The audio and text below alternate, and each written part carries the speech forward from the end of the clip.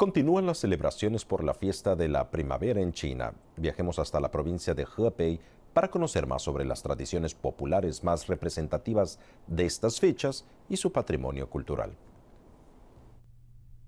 En la ciudad de Renzhou, un espectáculo de faroles que cuenta con la última tecnología y que muestra elementos de la cultura tradicional china está cautivando a los visitantes.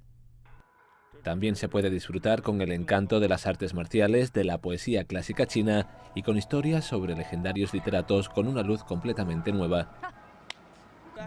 He venido a enseñarles las representaciones tradicionales y además están todos esos hermosos faroles. Es maravilloso disfrutar de las festividades de Año Nuevo. Estamos muy felices. Esta muestra de faroles también sirve para presentar el patrimonio intangible local. Cuenta con artes tradicionales como baile con tambores, caligrafía, papel recortado y pintura. Este evento también destaca algunas de las tradiciones populares más distintivas de la ciudad y de las que los residentes se sienten orgullosos. CGTN en español.